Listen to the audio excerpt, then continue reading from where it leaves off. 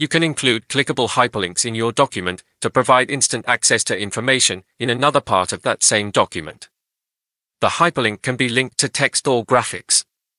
The use of clickable hyperlinks is a convenient way to share the same information in your document without duplicating the very same information on various pages.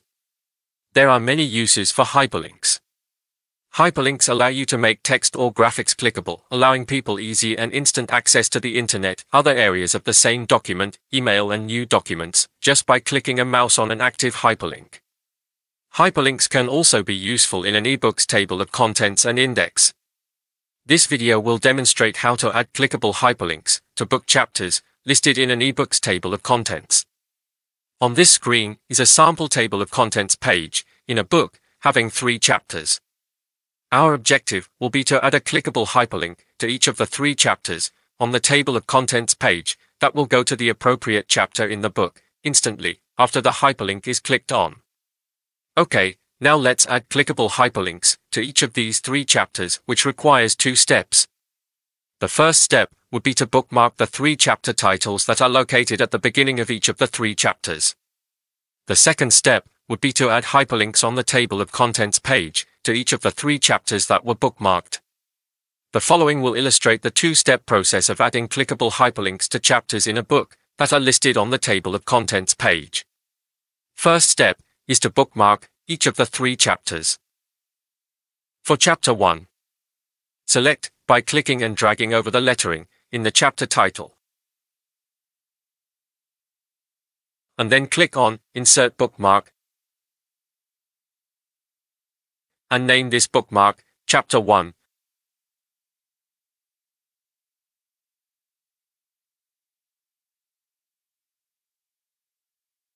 And click on Insert. Now, we'll do the same thing for Chapter 2. Here's Chapter 2. Select by clicking and dragging over the lettering in the chapter title. And then click on Insert Bookmark and name this bookmark Chapter 2.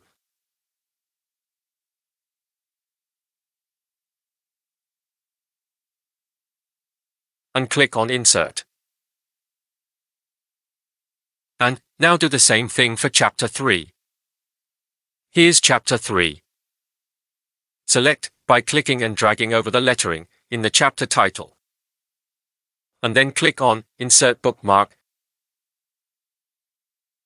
and name this bookmark Chapter 3.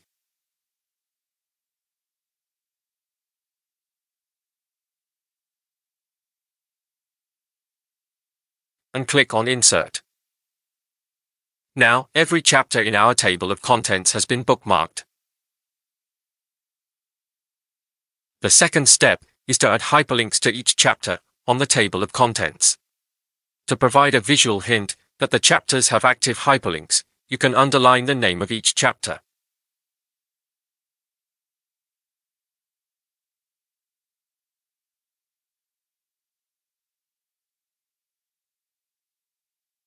Underlining hyperlinks is optional, that you may or may not consider doing. Now that all chapter titles have been bookmarked, select the entire line by clicking and dragging over the lettering in the entire line that the chapter name is written on, and adding a hyperlink to that chapter's bookmark. By selecting the entire line, the chapter number and page number also become active hyperlinks.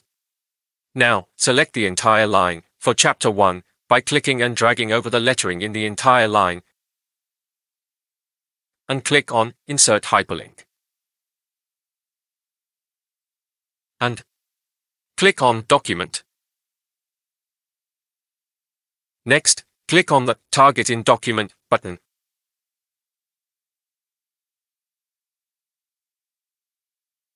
and click on Bookmarks.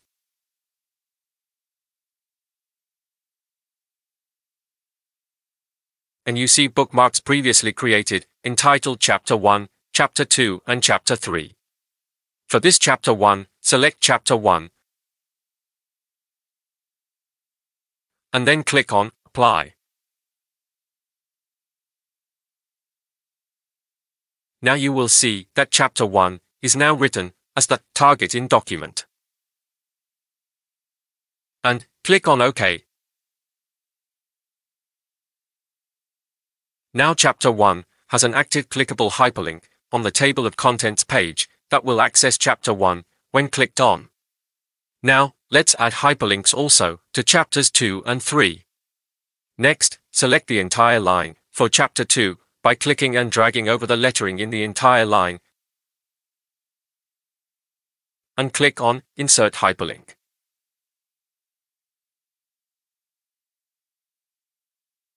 And click on Document.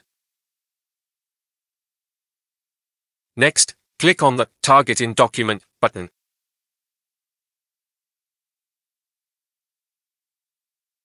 And click on Bookmarks.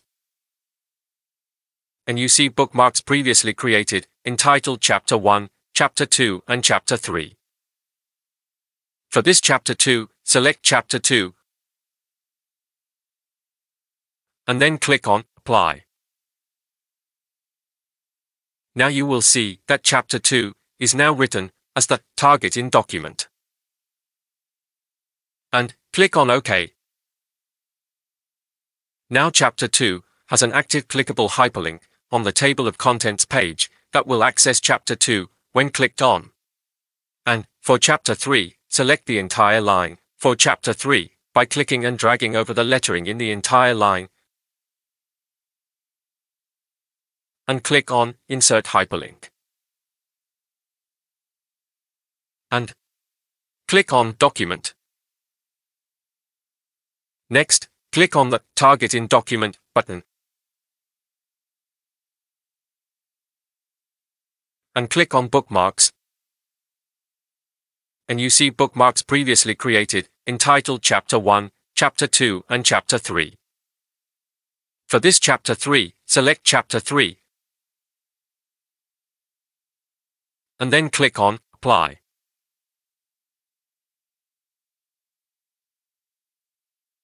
Now you will see that Chapter 3 is now written as the target in document. And click on OK. Now Chapter 3 has an active clickable hyperlink on the table of contents page that will access Chapter 3 when clicked on. Now that all three chapters on the table of contents page now have hyperlinks, let's export the book to a PDF file and test out each of the hyperlinks. To export to a PDF file, click on File. Click on Export as. Then, click on Export as PDF. Click on Export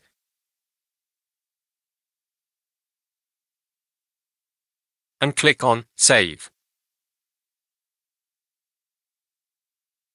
OK, this is the same PDF file, exported as a PDF.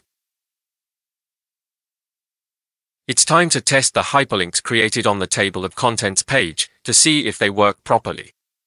Let's click on Chapter 1 on the table of contents page to see if it takes us to Chapter 1. Yes, Chapter 1 hyperlink took us to Chapter 1 when clicked on. Now, let's click on Chapter 2 on the Table of Contents page to see if it takes us to Chapter 2.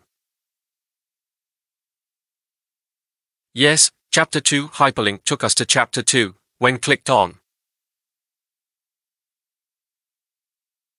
And let's click on Chapter 3 on the Table of Contents page to see if it takes us to Chapter 3. Yes, Chapter 3 hyperlink took us to Chapter 3 when clicked on. That is how you can add hyperlinks to your ebook. There are several types of ebooks, such as EPUB, Kindle, MobiPocket, PDF, etc. In this particular instance, the file type of the ebook we added hyperlinks to was a PDF file.